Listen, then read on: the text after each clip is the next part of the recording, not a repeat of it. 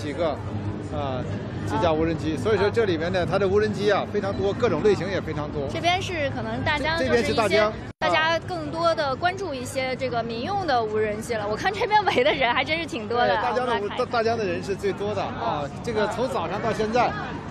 现在大家这个平常消费用的这对这种用来航拍的，还是挺感兴趣的。记者介绍一下。啊，这次有带了什么新产品、新技术来吗？带来了大疆全系的这个无人机产品啊，基本上大疆的新品，包括这个照材产品，我们都有带过来参加这次航拍展。有没有哪个是最新的？给我们大家看一看。呃，我们这个行业级的是这个比较新款的这个产品，你可以往后面走行业级，因为我们这刚个刚看那个是来，你带大家那个大的哈，啊呃，大大的是这个今天你这里比较爆棚啊！对，今天大疆那边人比较多。这些呢是这个消费级的产品，就是我们老百姓可以这个买得到的，嗯玉的这个变焦版、专业版，然后还有一些这个手持云台啊，这个 Osmo 的这个 OM 四的这个是现在出了个迷你版吗？啊，对，它有一个一些小的这个迷你版，好像还是更小，然后续航时间更长，现在会更加受到大家的一个欢迎。然后我们还啊带来了这种植保农业植保的这个无人机产品，嗯这个是这个大疆的 T 二零，二零二零年刚刚上市的一个一个芯片，二十公斤的载重，然后用于农业植保。它这个能挂的是多大的这个？二十公斤的这个药箱，二十公斤的对，药二十箱。公斤是吧二十公斤的药箱，这个产品卖多少钱？这个现在是四万五千九百九十九，啊，对，它的性价比也很高，啊，然后呢，这边是这个行业级的这个。来来来来来。参观的人太多了。这个呢，现在就是大疆工业级的、行业级的无人机里面比较这个呃高端的，或者是一个性价比比较高的一个产品，也是今年的一个新款，叫 M 三百 RTK。嗯啊，它现在能广泛应用于这个农林景电、水利环保、交通啊，它的这个这个应用都比较广泛。然后呢，也这个。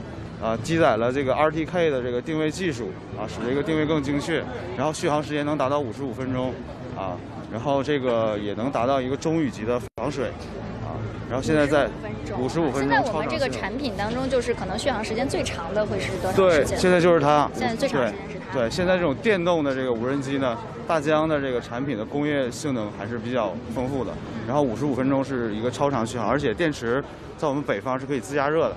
哦，就这些不会说被冻没电吗？对，呃，这个还不会啊，对 因为广泛应用到这个现在很多的这个行业应用领域，也提高了很多这个各行各业的这个作业效率了啊。然后还有一些这种大型的这种载重的，便于二次开发的，呃这种。这个是在应用什么领域？这个呢，之前是可以，它下面可以挂一个照相机或者摄像机，就比如说我们专业级的这个，呃，这个传媒或者影视机构呢，用那种专业级的相机可以负载到这上面，然后呢，也可以挂载一些比如投放装置、投送装置、救援的这种设备。也可以送快递。对对对，那快递可能暂时还 还这个还不太行。现在不是已经也有一些无人机可以进行一些配送了吗？对，也有一些人在用这个无人机去这个呃拓展这个配送的这个领域吧。好，我们接着这个往下逛一逛哈。今天的人比较多嗯啊，今天的人比较多。对，我们还是很高兴说看到我们大家呃对于这样的一个展会是保有一个浓厚的兴趣啊。这边这个好大，这边呢就是农林之宝了，嗯啊，这个比较大型的农林之宝，嗯，啊，它这个产品啊，我昨天就看到很多人在围观它这个产品，嗯啊，也是比较新颖的。你给来介绍一下你你好这，呃，你好，欢迎欢迎来到沈阳卓一航空展位。嗯，我们公司是主做游动直升机的，然后我们是从零八年开始做，一直做到了现在。然后像您看这对，款你给介绍介绍你的技术和产品。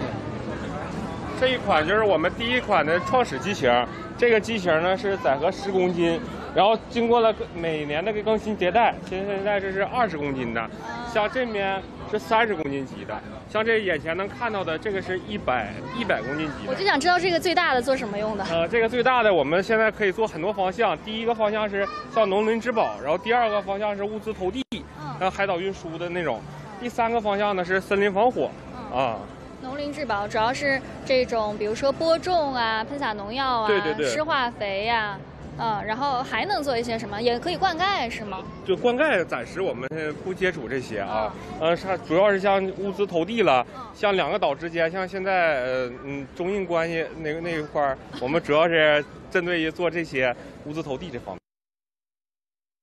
岛与岛之间它相对比较远，然后它做一些投递。